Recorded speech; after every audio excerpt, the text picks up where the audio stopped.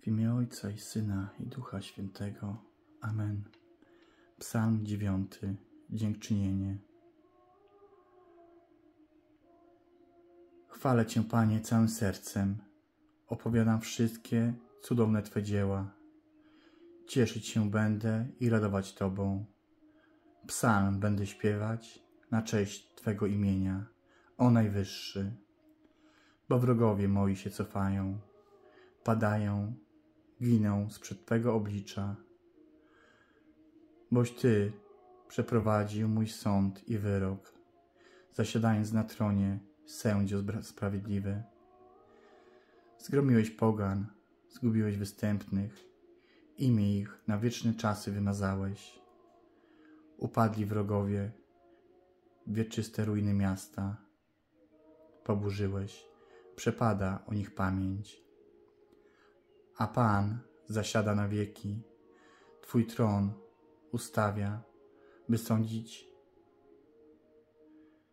Sam będzie sądził świat sprawiedliwie, wyda narodom bezstronny wyrok.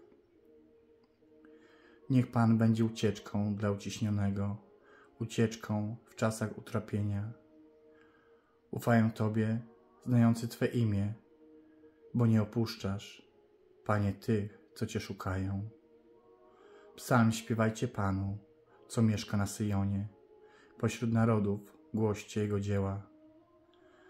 Bo mściciel krwi pamięta o ubogich, pamięta, a nie zapomina ich wołania. Zmiłuj się nade mną, Panie, spójrz, jak mnie poniżają Ci. Ty, co mnie wyprowadzasz z bram śmierci, bym głosił całą Twą chwałę w bramach córy syjońskiej i weseli się z Twoją pomocą. Poganie wpadli w jamę, którą wykopali.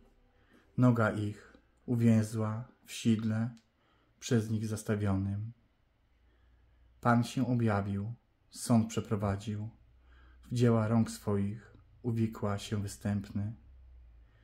Niechaj wstępni odejdą precz do Szeolu, wszystkie narody, co zapomniały o Bogu. Bo ubogi nie pójdzie w zapomnienie na stałe, ufność nieszczęśliwych nigdy ich nie zawiedzie. Powstań, o Panie, by człowiek nie triumfował, osądź narody przed Twoim obliczem.